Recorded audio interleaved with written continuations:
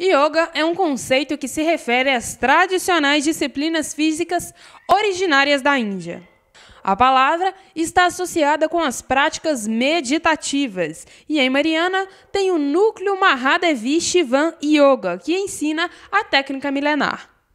E agora vamos conversar um pouco com a instrutora de yoga, Eliane Sandi. Eliane, primeiramente, conta pra gente qual é a diferença da pronúncia. É yoga ou yoga? É yoga. A palavra yoga é uma palavra em sânscrito, então toda palavra em sânscrito terminada em a é uma palavra masculina e não feminina. Então, por isso, o yoga.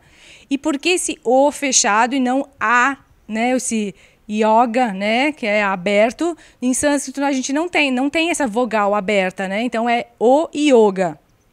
E para quem quer participar, quais são os benefícios que o yoga tra traz para as pessoas?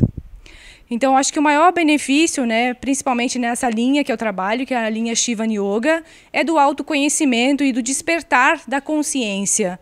Né? Então, a gente trabalha é, as posições né, do yoga, é, que é o físico, né, mas que vai trabalhar não só a nível físico, mas também a nível energético, a nível mental, a nível emocional e espiritual. Então, é um autoconhecimento e um despertar da consciência.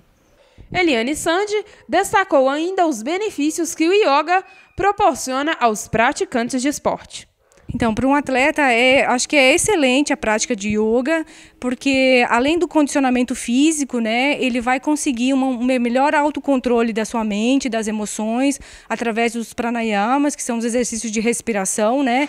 Então, o atleta possibilita para o atleta esse desenvolvimento, né? Que aí vai ajudar no desenvolvimento dele como atleta, né? Na, na melhor performance dele como atleta. E que, com referente à faixa etária, tem alguma restrição? Então, não tem restrição, né? A, a, criança é a partir de mais ou menos de 8 anos, né? Mas aí tem yogas é, específico, tem yoga para criança, né? Porque para criança tem que ser uma coisa mais lúdica, né?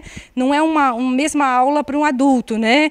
Então tem as posições que são trabalhadas mais com os animais, né? Que é mais lúdico. Então é o yoga específico para criança e tem o yoga específico para idoso também, porque o idoso tem umas limitações, né? Então não é a mesma aula normal, né? Né? Então, existe também yoga especializado para idoso. E também tem yoga para gestante, específico para gestante.